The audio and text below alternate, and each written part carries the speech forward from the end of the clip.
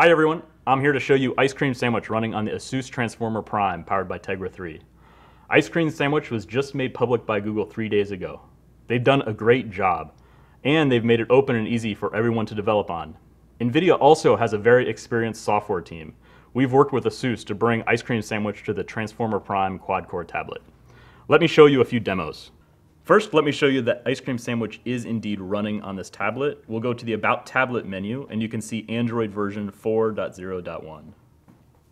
So let's check out a couple new features built into Ice Cream Sandwich. Number one is this very beautiful transition effect going on between the Apps and Widgets menu.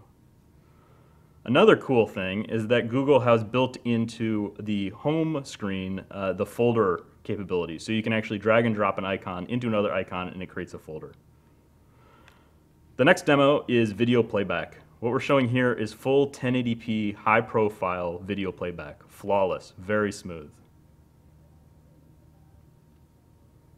And then the final demo I'm going to show is a game. This is a game called Riptide.